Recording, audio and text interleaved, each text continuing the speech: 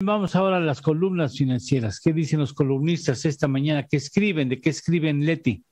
Iniciamos. Darío Celis, en su columna La Cuarta Transformación que publica el financiero, sostiene que en la Suprema Corte de Justicia de la Nación y el Consejo de la Judicatura hay un expediente que es una papa caliente.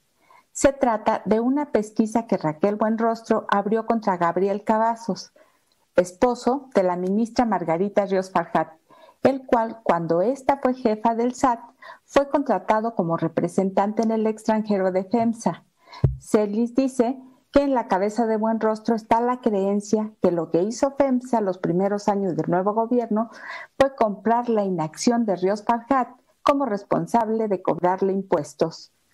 Mari Carmen Cortés, en su columna Desde el piso de remates que se publica en Excelsior, recuerda que el primero de julio entró en vigor en la Unión Europea y en tres países más el pasaporte de vacunación o certificado digital verde, que mediante un código QR permite verificar que el turista esté vacunado, qué vacuna recibió, si ya estuvo contagiado de COVID y sus pruebas negativas de dicho virus.